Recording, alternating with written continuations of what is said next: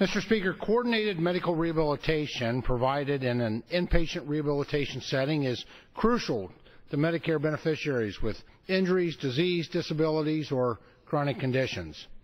Unfortunately, beginning in 2010, the Centers for Medicare and Medicaid Services began placing limitations on what types of therapy a beneficiary could receive, despite the professional judgment of the treating physician.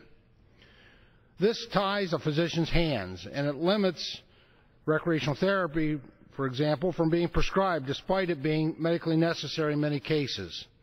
Now, these services are often prescribed to assist an individual in transitioning from the rehabilitation hospital to the home, helping patients recover their functions and decreasing the chances of costly readmissions. CMS, the Medicare agency, should not have put in place barriers for physicians and their patients when determining the best course of action for recovery.